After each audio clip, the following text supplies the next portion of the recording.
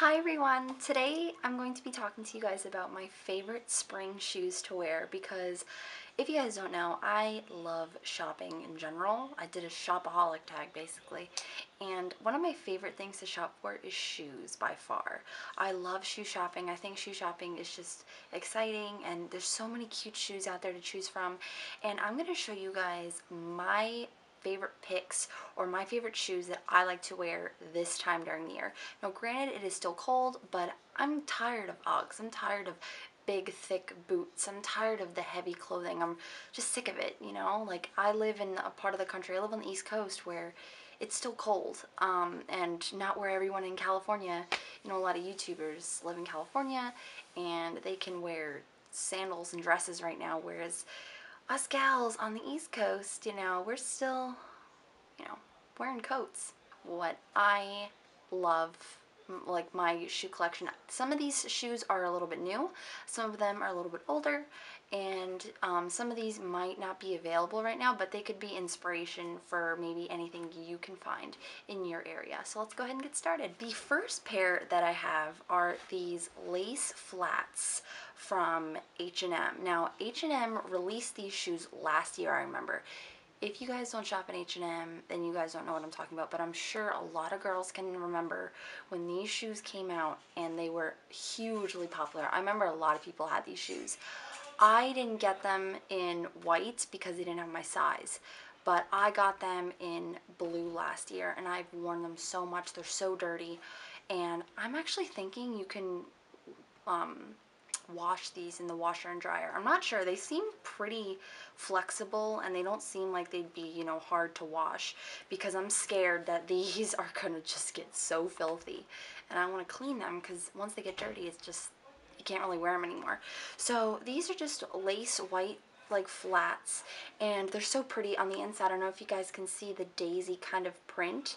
Um, it's like a pale pink with daisies inside and these are really comfortable. They're, they were $14.95, so I think that's a pretty good deal if you ask me. So um, they have them in so many different colors if you don't want white or if they don't have your size since white is generally the common favorite. But I got to snatch these up beforehand. So I love these. They're so comfortable. I would highly recommend going to your H&M and checking these out. Express flats and these are mint green. They kind of show, I don't know if the, the camera is giving it justice, but these are just pointy toe mint green flats that are really cute. Um, I never, I don't have, I think this is my first pair of shoes from Express and um, think I got these when they were having their like 40% off everything sale. So it was a little bit ago, but I love these and I've worn them I think once or twice. Um, the only problem is like the, it's so high up that you could see like the cracks in between my toes. I don't like that when I see that in flats, but they're comfortable and you know, they get the, they're, they're really cute to wear. So I like these. Next are these nude flats from Target and I picked these up a while ago I think back when like in January and um, I've been looking for a pair of nude flats everywhere and when I saw these I was like I need to get them.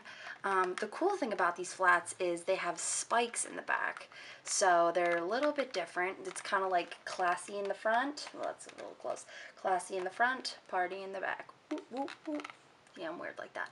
But these, I have to say though, these aren't that comfortable. Um, they were very hard to break in um, because I got blisters and stuff, so that's not always cute. Um, but I have yet to try the Elle Fowler trick of putting Vaseline on your foot when you're wearing a new shoe, which I need to do that. So I have not tried that yet, but I want to try that. but these are my nude flats from Target. Wedges. Um, I have two kind of heel-like shoes to show you, and I'm really excited. So the first pair I picked up are these white kind of espadrille sandals. I picked these up at a Plato's Closet. Basically, Plato's Closet is a store, kind of like a thrift shop, where they buy gently used clothes and they sell them for a lot cheaper. And um, it's kind of like Buffalo Exchange. I know Buffalo Exchanges are more popular out west. Um, I don't really have one near me, but one we call is Plato's Closet. And Um, these are from Sonoma, and I've been looking for a pair of white sandals like this, and it's just so cute and so simple. And I've worn this, and the heel isn't that bad for me. Like it's it's kind of like after a while, if you're walking a lot, it kind of gets uncomfortable.